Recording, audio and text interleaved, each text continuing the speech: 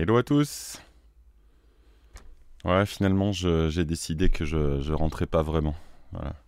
Je vais garder mon chapeau et mes lunettes de soleil, y a pas de raison.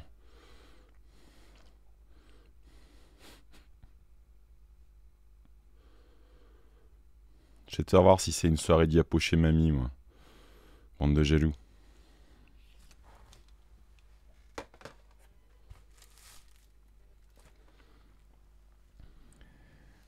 Et en plus, ça bouge. Quelle horreur. ah, j'étais bien obligé de vous faire. Je vous avais parlé avant. Fallait bien que je vous parle un peu du après quand même. Donc le Riviera Dev, euh, fin de semaine dernière. Il y a Sebi qui est là. Merci. Thank you. Yalla yalla. C'était terrible. Le lieu était génial. Euh, L'orga parfaite. Euh, pour les talks euh, sur des pontons euh, sans ordinateur, sans slide, tout le monde avait trouvé des façons de, se surpasser et puis d'être vachement créatif. C'était vraiment super sympa comme ça. Donc ouais, c'était vraiment un très bon souvenir. Je pense qu'on va mettre un petit moment à atterrir dans l'histoire, mais bon, c'était très bien. Et du coup, petite conséquence malgré tout de cette conférence. Je vais vous présenter les trucs aujourd'hui qui sont quand même un petit peu en rapport avec des discussions que j'ai eues euh, sur place. Je ne nommerai pas la chambre 216 qui est beaucoup revenu sur le sujet. Salut Kios. Je vais donc vous partager ce que je voulais vous montrer un peu aujourd'hui. Il se trouve qu'on avait quelques fans du langage Rust que je ne connais pas énormément. Mais euh, voilà, le zookeeper humain euh, de la 216 a bien insisté, bien sûr. Et donc, euh, à 202, c'était pas pareil. 202, il est pas assis, il est connecté aussi, 202. Voilà, il s'est passé des choses avec des numéros de chambre. Il y en a qui faisaient des annonces, je comprends pas. Exactement. Ah, encore que là, tu vois, il suffit que j'allume la caméra et le, temps pluvieux se transforme en temps ensoleillé, donc c'est pas mal. Voilà, toujours est-il que j'avais fait un tout petit peu de mon côté. Euh, vous savez que j'aime bien euh, utiliser plein de langages. Euh, malgré ce que disent les mauvaises langues, j'aime tous les langages.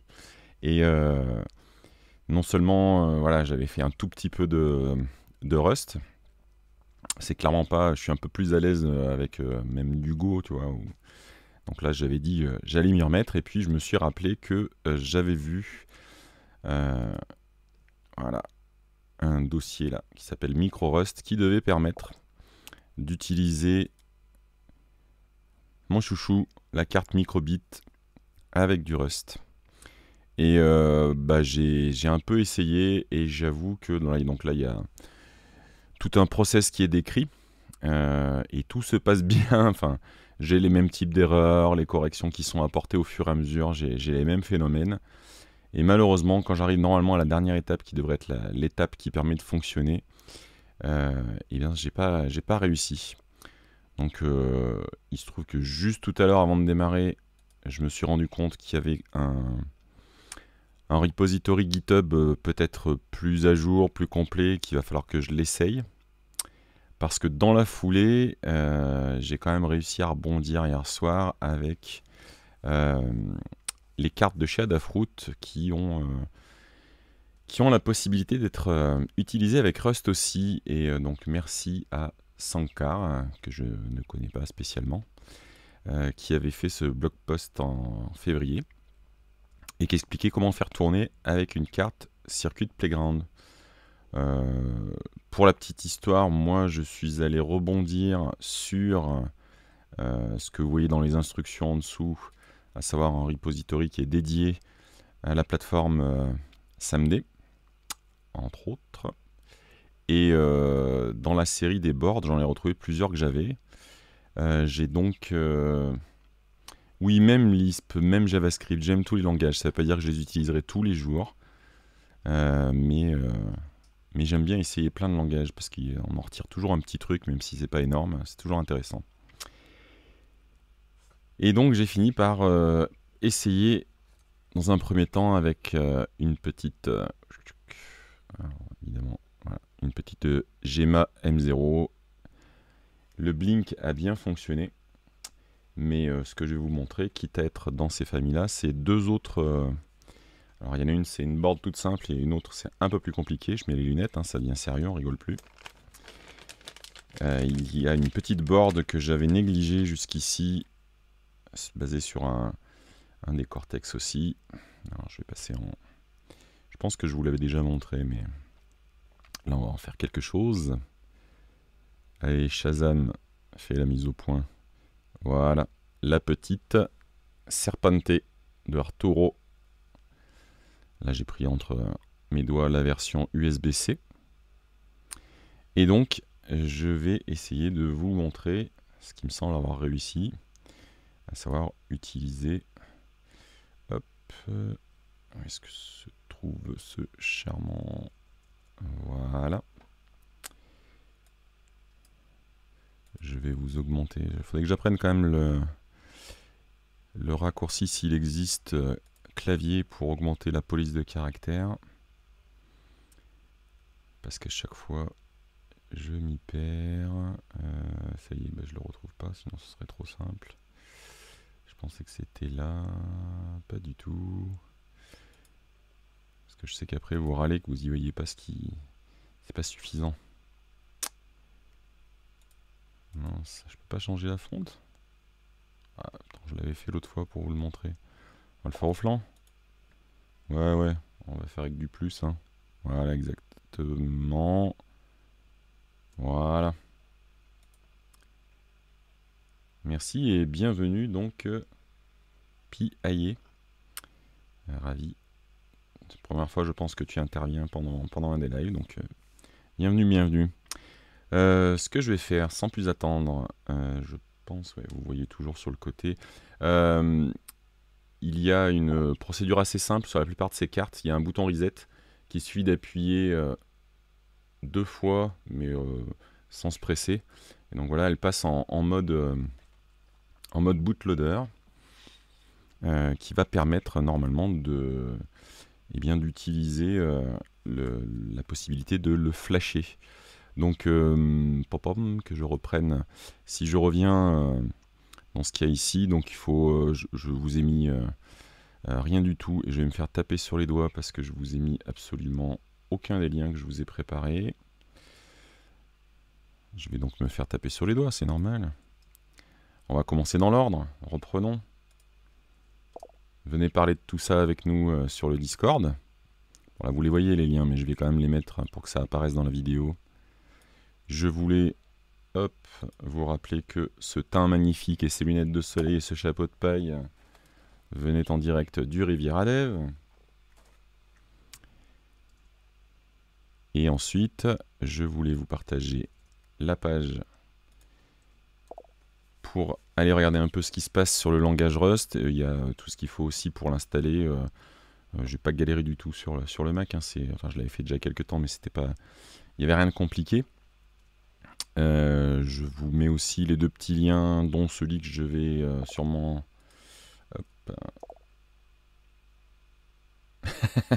ouais, mais je pense que tu as déjà les liens pour tout ce qui concerne du Rust. Hein, tu vas pas être conquis longtemps, je pense qu'il va y avoir deux lignes de commande, ça va pas aller bien. Euh, Hop. Mais je vais essayer de vous montrer quand même un des trucs qui notamment qui me plaît, puisque donc je, ne ferai certainement pas un grand discours sur Rust, mais euh, sachez que c'est euh, quelque chose qui, euh, qui est nouveau. On en a discuté avec François pendant Riviera Dev. À savoir que c'est pas un, des énièmes paradigmes de langage qu'on connaît, il y a quand même des choses qui sont vraiment à part. Mais moi ce que j'aime bien c'est le côté, le compilateur qui semble être fâché avec toi euh, sans arrêt, mais qui en fait n'est qu'un très bon conseiller qui va te donner plein de conseils si tu lis et si tu suis ce qu'on t'indique. Voilà. Hop. Je vais retourner voilà, sur les explications ici. Donc euh, il faut rajouter un certain nombre, euh, ce, qui, est appelé des, targets. Donc euh, moi j'en ai rajouté deux. Hein. Il y a celle qui correspond à, une, première génération de, de SAMD, les SAMD 21 généralement, qui est aussi celle qui est utilisée pour les, les NRF utilisés notamment sur la carte microbit V1. Et puis il y a le, le SUM V6, V7 pardon, qui est utilisé pour les SMD 51, si je dis pas de conneries, et pour des cartes plus récentes. Donc j'ai installé les deux.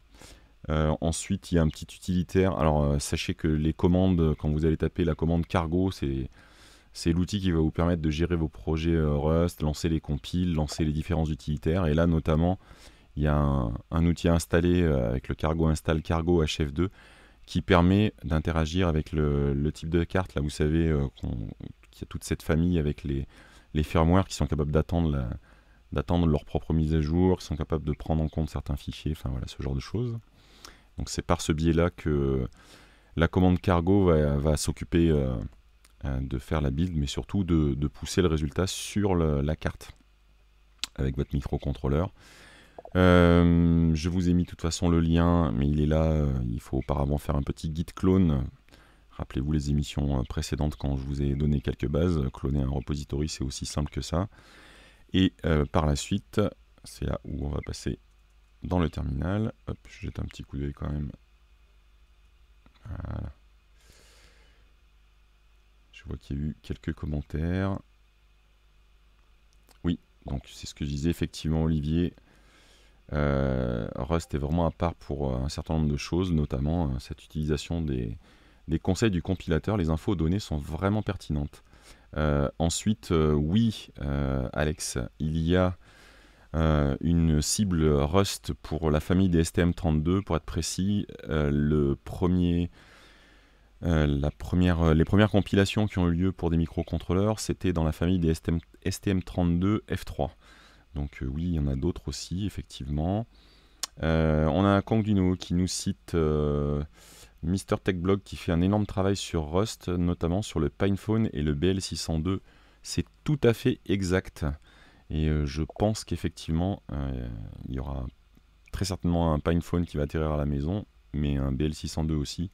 Je suis curieux de voir ce qui se passe.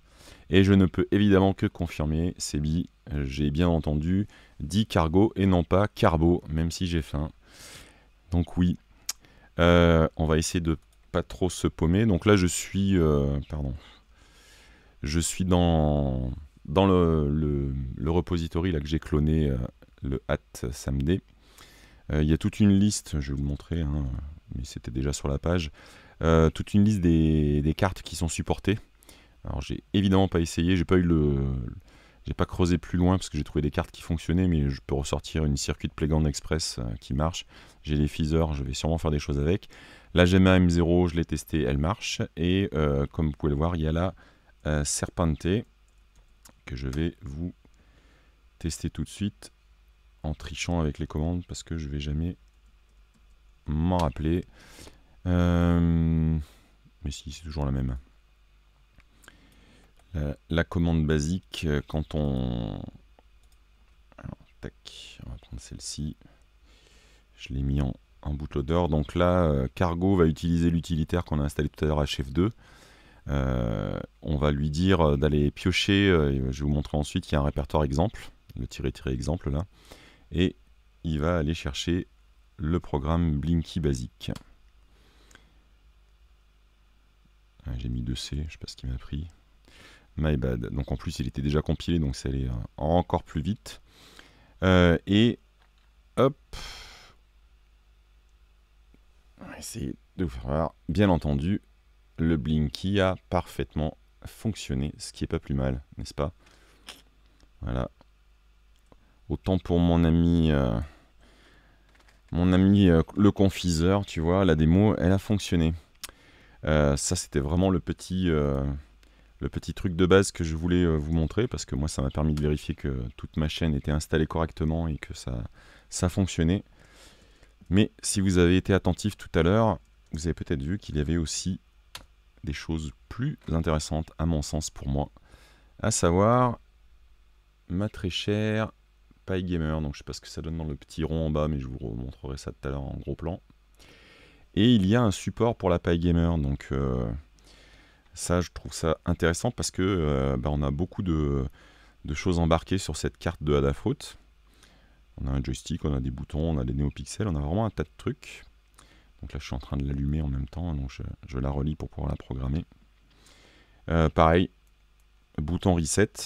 Donc là, c'est encore plus facile de savoir qu'on est dans l'état euh, qui correspond puisqu'on a un écran qui affiche qu'on est dans le mode bootloader en plus. Sinon, vous le voyez dans votre gestionnaire de fichiers aussi, par exemple. Vous voyez que le, nom du périphérique USB qui apparaît comme une clé USB s'appelle généralement le nom de la carte boot. Donc là, j'ai un PyGamer boot qui est apparu.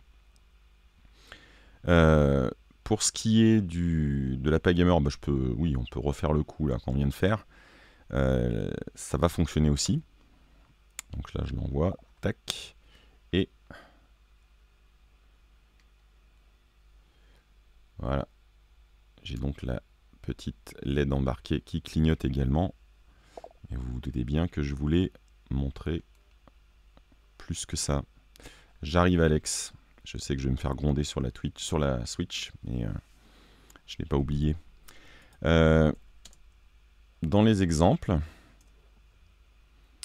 euh, qu'est-ce que j'ai essayé tout à l'heure? J'ai essayé NeoPixel Button.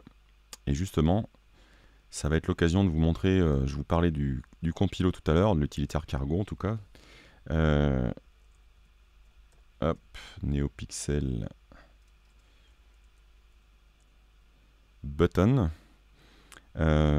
si je me rappelle bien, cet exemple va, je vais vous montrer après, sur le bas de la PyGamer, il y a une série de 5 euh, néopixels et le joystick va permettre d'osciller d'une position à l'autre. Et si je lance euh, la compilation, et merde, il l'a déjà faite. et il faudrait que je supprime. Hop.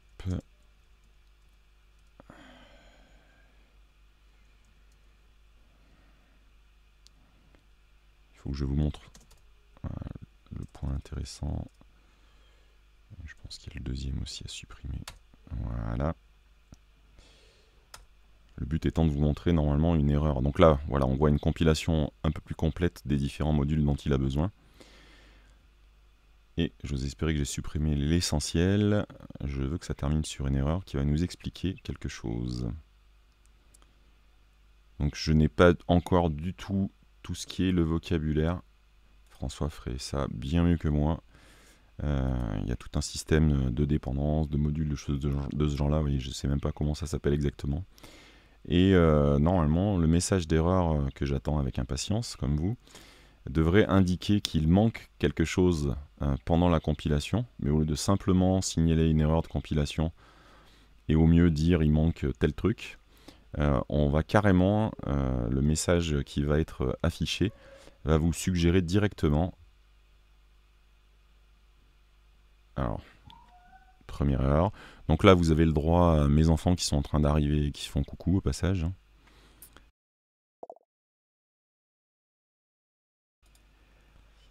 Donc là, après tout, c'était pas l'erreur que je voulais montrer, mais c'est très bien. Donc là, on peut. Le, problème qu'il y a derrière, c'est que j'ai pas mis la, la gamer, je l'ai pas remise en, mode euh, bootloader. Les crates. Voilà, les dépendances, c'est les crates. Mais il, va s'en plaindre juste après. J'aime beaucoup.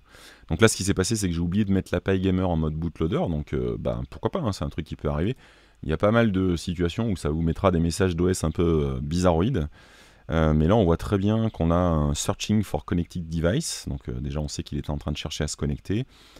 Certes, il y a une erreur panique, très bien, mais on indique directement Are you sure the device is plugged in and in bootloader mode? Donc on a vraiment l'indication parfaite. On n'a pas besoin de, de plus de détails. Là je la mets voilà, en mode bootloader. Et ça compile quand même, j'en suis extrêmement vexé. Donc je sais plus laquelle c'était. Euh, mais c'est pas grave. Donc je vais vous montrer le résultat vite fait. Hop. Est-ce que le câble est assez long? Oui. Donc vous voyez la NeoPixel en bas. Voilà. Et donc avec le, joystick analogique ici, là, on a le contrôle. Donc il y a, il y a déjà, euh, vous voyez, pour gérer les, les néopixels, il y a les PVM qui sont avec. On a la gestion des, entrées-sorties analogiques avec le, petit joystick. Et même il est, il est calibré, le module fonctionne très bien.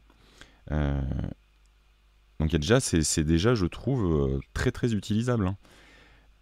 Et je voulais vous montrer... Alors, si, bah, pourtant il s'en plaint, mais je l'ai installé. c'est moi qui ai... Bon, bref. Vous en parlais quand même. Dans cet exemple NeoPixel, la première fois que j'ai euh, que je l'ai compilé, j'ai eu un message d'erreur, comme vous voyez sur cette page, qui m'indiquait que la target NeoPixel button, qui est donc le nom de ce que j'étais en train de compiler, dans le package PyGamer, parce qu'on est dans le, répertoire qui concerne la PyGamer, requires the feature unproven. Donc il demande une feature. Donc il n'y a pas que les crates, il y a aussi les features. Ça, faut aussi que je creuse. Mais promis, François, je vais m'intéresser de près à tout ça. On en a parlé, je vais en refaire un petit peu plus sérieusement. Et donc, bah voilà, par exemple là, euh, comme tout à l'heure, euh, je vous disais, j'ai pas fait euh, grand chose avec Rust. Moi, me parler de feature, je sais même pas ce que c'est exactement. je pourrais être perdu dans un langage s'il s'arrêtait là. Sauf que derrière, on indique veuillez considérer de l'activer en utilisant par exemple la commande "-features unproven entre guillemets. Et en rajoutant ça tout à l'heure, j'ai pas, pas eu à chercher nulle part ailleurs. Hein. J'ai eu ce message d'erreur, j'ai rajouté ça et clac, ma compile a tout de suite fonctionné derrière sans aucun autre, sans aucun autre souci, sans aucun autre besoin. Donc je trouve que c'est plutôt sympathique. Pour le fun, euh, je vais vous mettre une autre compile, je le remets. Voilà. Un autre, une autre. Ah ben voilà, je l'ai ce coup-ci. Vous avez euh, un autre programme, donc là euh, c'est un, programme, euh, et je vous ai même pas montré, je parle d'un langage quand même, ça serait sympa de vous montrer un petit peu la tête que ça quand même.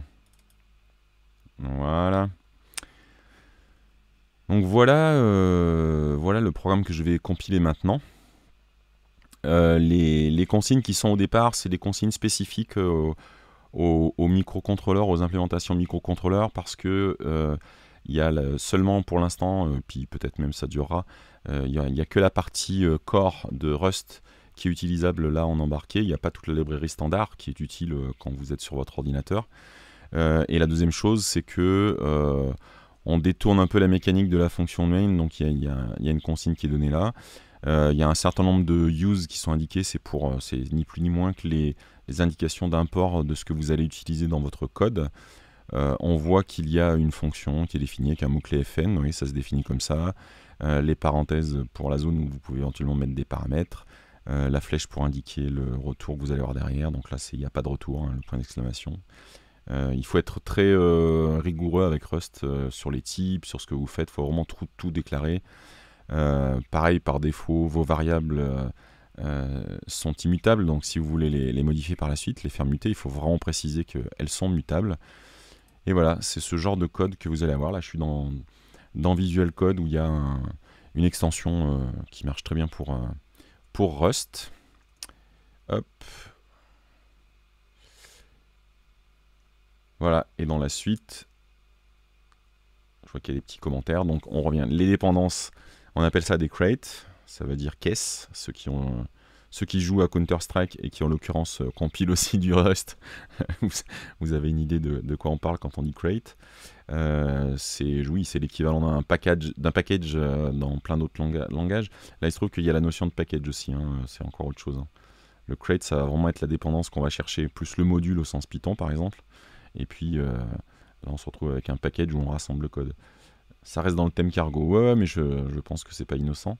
Et euh, François nous spécifie derrière, nous rappelle que features, ce sont des instructions de macro pour activer des features de langage. Tout à fait, puisque eu, je me rappelle dans un exemple microbit où j'ai eu affaire avec la partie macro également. Et toujours est-il que voilà, l'erreur que je vous ai montré tout à l'heure sur un exemple dans le navigateur, on l'a ici en direct quand j'ai compilé NeoPixel Easing. Il m'a signalé qu'il euh, y avait une feature qui s'appelait mat qui était nécessaire. Donc je rappelle ma ligne de commande et je j'ajoute exactement la, commande qu'il m'a indiquée. Donc là on voit qu'il va en plus aller récupérer le module micromat. C'est compilé. Voilà. Et je vais vous faire profiter de cette magnifique PyGamer que j'adore et que je n'utilise jamais assez bien sûr. Et voilà, donc on a une espèce de... Qu'on appelle ça... Dans les commentaires, il indique comme une respiration. Donc la LED qui s'allume et qui s'éteint progressivement. Et de manière euh, aléatoire, on passe d'un néopixel à l'autre. Voilà. Et moi, quand je vois ça, je me dis que ça m'a vraiment pas pris longtemps. Je sais pas qui a travaillé sur... Euh, bon, la partie microbit, il faut que j'aille voir, hein, encore une fois. Euh, j'aimerais bien que ça fonctionne aussi. Mais en tout cas, pour la partie samedi, c'est tout, est fonctionnel, du blink jusqu'à des avantages, des, exemples plus, plus avancés, comme pour la paille gamer, je trouve que c'est, c'est vraiment bien fichu. C'est vraiment.